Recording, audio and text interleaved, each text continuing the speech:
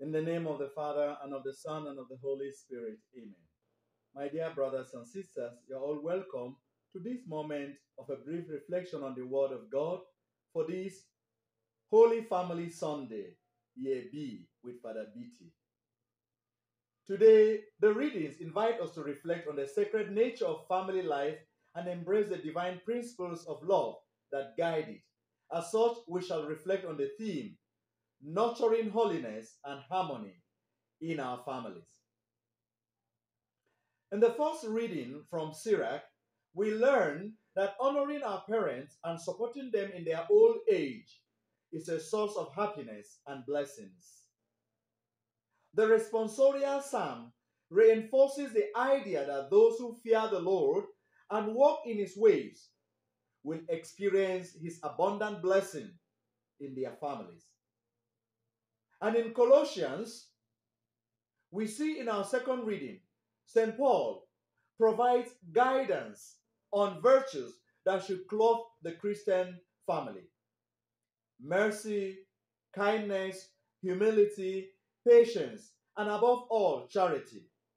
And finally, in the gospel, the Holy Family of Jesus, Mary, and Joseph exemplifies obedience to God's law. And so these readings put together, woven together into this theme, give us certain practical implications for our Christian life that we live in our families. And I want to talk about three very important implications here. Number one, they need to cultivate a culture of respect and support. Families are the bedrock of society, and honoring our parents, supporting one another, and fostering an environment of respect are key to its being successful. Now, practicing forgiveness, mercy, and kindness within the family strengthens its foundation. Cultivating this culture of respect and support finds its roots in the biblical principle of honoring parents. In Exodus, for instance, chapter 20, verse 12, the commandment states, which is the second command, the uh, honor your father and your mother, the fourth commandment. This commandment underscores the importance of recognizing the role and authority of parents. Practically, this involves actively listening to their wisdom, providing support in times of need, and ensuring their well being in old age.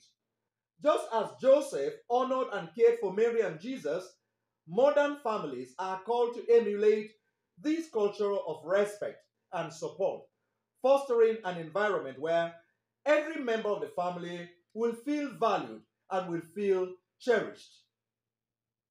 Number three, prioritizing love and harmony.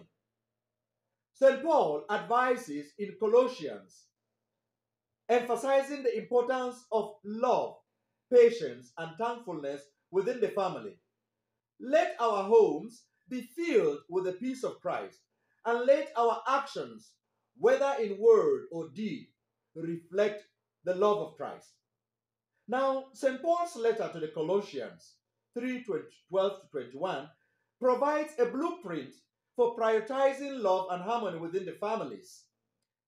The virtue of mercy, the virtue of kindness, the virtue of humility, and that of patience contribute to the atmosphere of love. The practical reality is that families, like any human relationship, may encounter disagreements or conflicts. These are natural.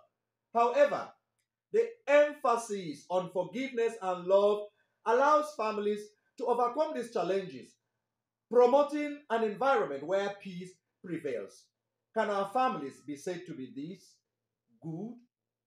The love within the Holy Family, exemplified by Joseph's love for Mary and Jesus, serves as a model for families seeking to prioritize love and harmony in their daily lives. And we are called upon to emulate them so that our families can be like them, especially the care of Joseph for all fathers and heads of family. Then finally, they need to embrace divine guidance.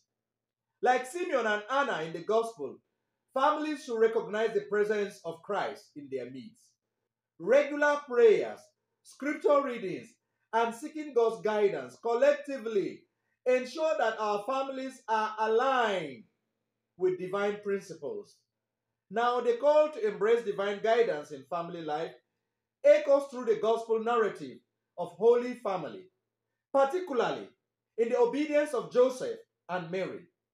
Their openness to God's plan, despite the challenges they faced, exemplified the importance of seeking and following divine guidance.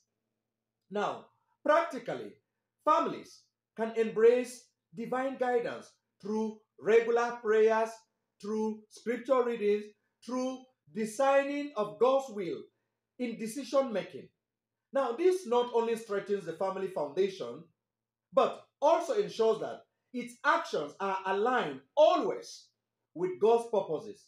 As the Holy Family sought refuge in Egypt in obedience to God's directives, all our families, modern families, we can find inspiration to trust in divine guidance amidst life uncertainties. God has a way of always directing us towards the way out of the challenges that we face. If we allow Him to be in charge of our families, then we shall find refuge. So, as we navigate the challenges of the world, let our families be beacons of God's love, breaking down barriers of division and showcasing unity in diversity for the sake of Christ.